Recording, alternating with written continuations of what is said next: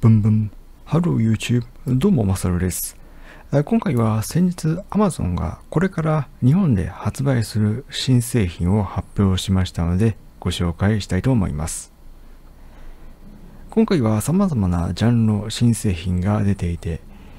ちょうど今使っているもの、もう長く使っているので新しいものに買い替えたいよりスペックの高いものが欲しいという方にとっては、今回の新製品、かなり魅力的なものもありますので、ぜひ参考にしていただければと思います。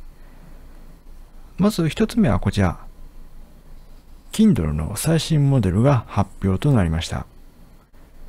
こちらにペンがある通り、今回のモデルはペンによる手書きにも対応したモデルで、従来のただ単に電子書籍を読むだけというだけではなく、手書き入力もサポートしたかなりスペックの高いモデルとなっています。そして、これまではなかった大画面モデルということで、特にまだ電子書籍、レイアウトが小型の電子書籍端末に最適化されていない、例えばイラストとか図をたくさん入れたような電子書籍はどうしても大画面で読むように最適化されていますので、これまでの小さなモデルでは扱いにくかったという方も今回の新型モデル、かなり魅力的なモデルになっています。あとは Fire TV Cube といって、えー、もう現行モデル、発売から数年が経過していて、このまま新製品は出ないのではと思われていたこの Fire TV Cube も最新モデルが今回発表となりました。それからこちら、エコーショー15こちらは主に機能追加がメインとなります。そして、エコースタジオといって、いわゆる AI スピーカー、そのエコーシリーズの中でも最も音質が優れたモデル、スタジオシリーズの最新機種が今回発表となりました。こちらもまた後ほど詳しくご紹介したいと思います。その他はこちら、Alexa 対応の音声リモコン、そのプロというモデルが今回発表となりました。こちらも後ほど詳しくご紹介しますが、ボタンの数も増え、より操作しやすいモデルとなっています。では、まずは今回マサルが一番気になっているこの Kindle、スクリブ、Kindle 史上初となるペン入力も対応したこちらのモデル、こちらからご紹介したいと思います。こちらが今回発表された Kindle スクライブというモデルになります。スクライブとは、まあ、文字を書くとか、そういう書く人とかそういう意味、筆記者という意味がこのスクライブの意味となっています。まあその名の通り、このようにペン入力にも対応したモデルとなっていて、これまでは付箋でその部分に付箋を簡易的につけるというだけしかできませんでしたが、今回は付箋だけではなく手書きメモを同時に残すことができますので、特に電子書籍、勉強用に使っている方にとっては、とてもありがたい機能となっています。発売日は11月30日からで、まだしばらく先となります。スペックが高い分、価格もまあまあ上がっており、価格は47,980円。これが最小構成となります。プレミアムペン付きのモデル、ある意味こちらが大本命のモデルかと思いますが、こちらで64ギガモデルなども選択することができ、こちらは現在在庫切れとなっていて予約することはできません。32GB モデルが54,980円となっていますので、えまあ、たくさんのデータを保存したいということは 64GB モデル購入すればいいですが、やはり価格が6万円以上になってしまいますので、さすがにそこまでは出せないという方は、容量を節約して 16GB モデル、こういったモデルを選択するというのもありかと思います。もう特徴としましては、やはりペンによる入力ができるというところ、そしてもう一つの特徴がディスプレイサイズが10.2インチとなりましたので、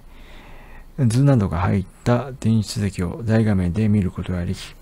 この辺はとても読みやすい端末となっています。あとは、書き込むことができるのは電子書籍端末。本来は電子書籍コンテンツにしか付箋などをつけることはできませんでしたが、このモデルの場合は特別で、例えば、マイクロソフトのワード文章、そういったものにも付箋をつけることができたり、また PDF ファイルにも手書きメモを残すことができたらなど、とにかく汎用的なタブレットとなりましたので、これまでの電子書籍専用端末というだけでなく幅広い使い方ができるモデルとなっています。搭載しているのは電子ペーパーですので、引き続き薄型のモデルとなっていて、1回の充電で数週間使えるなど、バッテリーもとてもよく持つモデルとなっています。電子ペーパーですので、カラー表示ができないというところはありますが、その分目に負担がなく、長時間本などを読んでも目が使えないというのが、この電子ペーパーの魅力とも言えます。その他、今回発表されたモデルは、久々の新型モデルなる Fire TV Cube。こちらは何をするものかと言いますと、単体で使えばスマートスピーカーのような感じで使うことができます。ですので、明日の天気を教えてといえば天気を教えてくれますし、アラームをセットといえば目覚ましをセットすることができたり、そういったことはこれまでの普通のスマートスピーカーと同様ですが、このモデルにつきましては、テレビと接続して Fire TV スティックと同様の機能を使うことができます。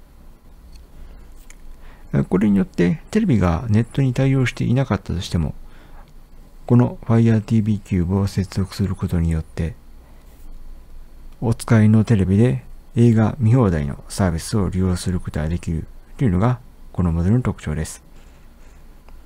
こちらのモデルにつきましては、発売日はまあまあ近く10月27日から、価格につきましては19,980円となります。セット内容はこんな感じで、リモコンも標準で付いているほか、この小さな Amazon と記載されたボックスがありますが、これは何をするためのものなのかということですが、こちらは電源アダプターとなっています。あですので、これ自体で何かをするというよりは、まあ、電源を取るためのものということになります。あとは電池、それからリモコン、そしてこちらが Fire TV Cube 新型モデルで、今回は HDMI ポートも2つついていて、片方が入力ポート、もう片方が出力ポート。あとはこちら、リモコン用の赤外線ポートがついていたり、インターネット有線接続するためのイーサネットポート、USB-A 端子、これらが搭載となります。Wi-Fi につきましても、高速な Wi-Fi 6に対応してはいますが、やはり安定して通信したいという方の場合は、こういった有線端子、これがあるととてもありがたいかと思います。また今回は CPU が過去最高のスペックを持った CPU、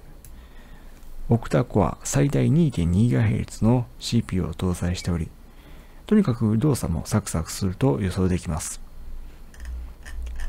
価格につきましては、これまでの Fire TV シリーズですと、だいたい数千円で購入できましたが、このモデルはスマートスピーカーの機能も兼ねているということで、やや価格が高く約2万円となっています。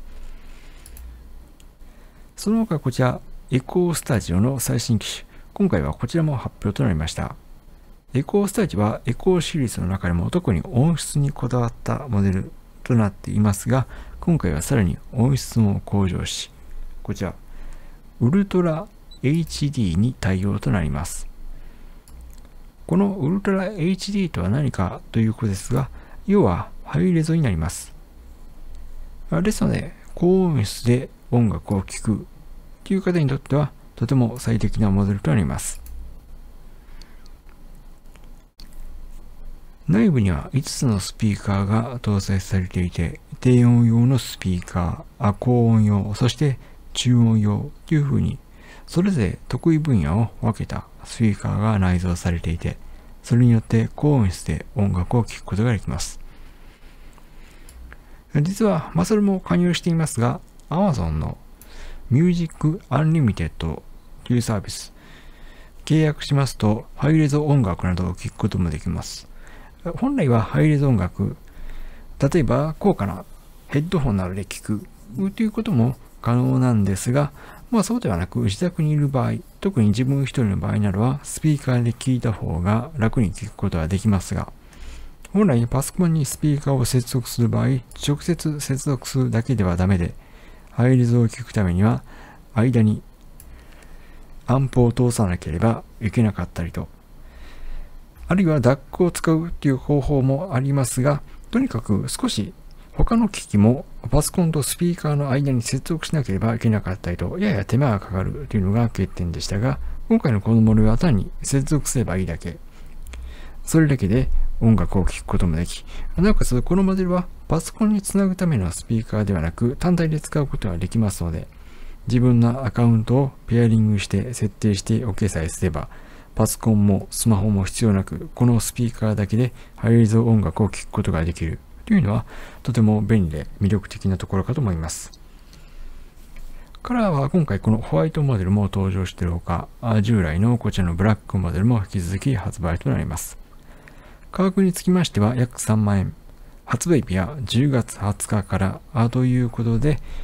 スマートスピーカーでハイレゾの音楽を聴きたいという方、そういう方にとっては気軽に聴くことができるおすすめモデルとなっています。そして今回は地味ではありますが、こちら、ニューアレクサ対応音声認識リモコンプロというのが発表となりました。こちらは発売日は少し先、